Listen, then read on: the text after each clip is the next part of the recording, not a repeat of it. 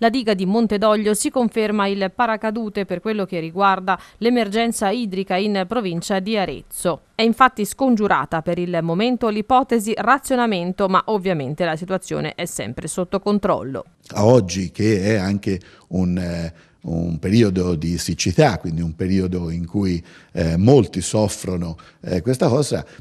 eh, grazie alla, alla, alla, diga di Montedoglio per l'agricoltura stanno innaffiando, quindi la, la, utilizzano anche più degli anni scorsi, mentre per quanto riguarda la, potabile, la parte potabile